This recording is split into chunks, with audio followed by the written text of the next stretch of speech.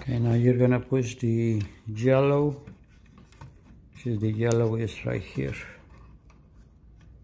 on this one. Push it in. Now you're gonna push the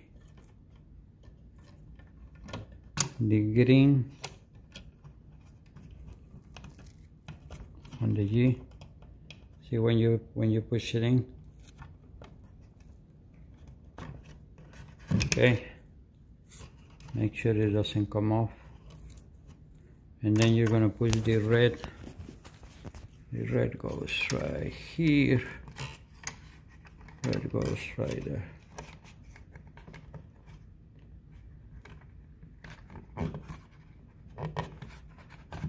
Okay. So you have a red, green, yellow, and the blue, which is the O. Now you can close this here. You don't have to move this where it says U, U, you don't have to move it. And here is the where it says one or two wires, you leave it there. You leave it down, you don't put it up. See?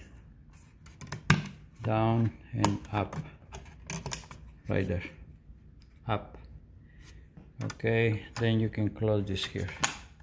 Now you're ready to mount the other part. So you sit this here and then uh, you push it in but you have to put the batteries first and do the settings. The batteries two batteries right here. We're gonna put the batteries now. Once you install the batteries here then you can see the front you can be doing the settings now. To do the settings uh, you can put it here right there. We're gonna do the settings now. Okay the zero the 125 is zero which is Fahrenheit. Then you can put right here where it says next.